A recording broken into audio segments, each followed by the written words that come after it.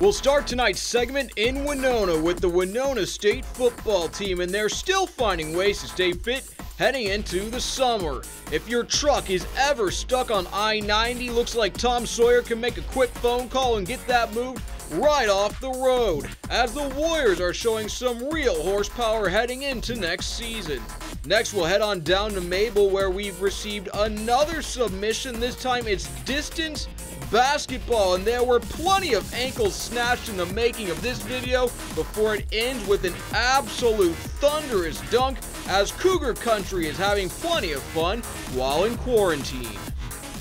And that's a look at sports tonight, Barrett. Back to you. Well, I'm never ordering a tow again. I'm just going to call those guys up.